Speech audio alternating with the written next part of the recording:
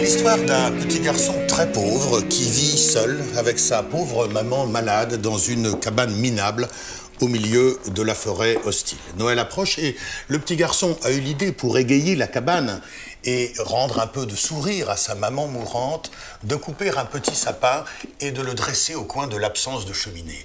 Mais il n'a rien pour décorer son sapin, le pauvre enfant. Alors, il se rend à la ville, pieds nus, titubant de froid et de faim. Quelques heures plus tard, tout ébloui, le voici qui entre dans un joli magasin spécialisé en guirlandes de Noël et de sa petite voix éraillée par la laryngite, il demande Pardon, madame, pourriez-vous me donner une boule de Noël pour mon sapin? Une petite boule toute rouge. On ne donne pas les boules ici, lui répond la dame, on les vend. Mais c'est que je n'ai pas d'argent, s'excuse l'enfant tremblant, alors fiche-moi le camp. Un peu plus tard, dans la rue glacée, l'enfant aborde un gendarme. Monsieur le gendarme, ma maman est malade. Je voudrais lui redonner un peu de sourire en décorant le sapin de Noël, mais je n'ai pas d'argent. T'as qu'à dire à ton père de travailler un peu plus, lui répond le gendarme. C'est que mon papa est mort, dit l'enfant, les yeux pleins de larmes.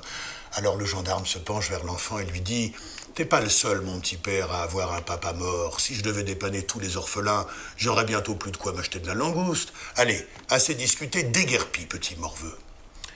Désespéré, le pauvre gosse s'en retourne à sa pauvre cabane. Sa mère est là, fiévreuse, mourante. En voyant entrer son fiston, elle s'écrie Où étais-tu passé? Voilà des heures que je te cherche. C'est pour le sapin, bredouille l'enfant. Je voulais le décorer pour te donner un peu de bonheur de Noël, mais je n'ai rien pu trouver.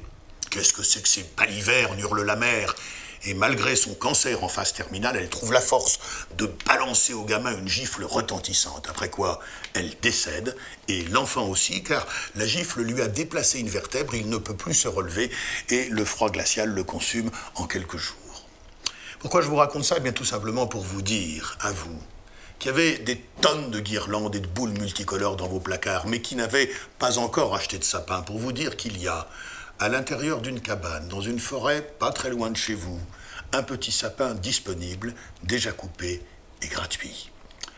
Terminons avec un précieux conseil de Noël. Ne confondez pas la bûche qu'on met dans la cheminée et qui ne se mange pas et la bûche qu'on mange au dessert qui ne brûle pas pour vous aider à poser sur la bûche qui se mange une étiquette BQSM, bûche qui se mange, et sur l'autre une étiquette BQB, bûche qui brûle. Et attention, ne mélangez pas les étiquettes. Hein. Un peu de champagne?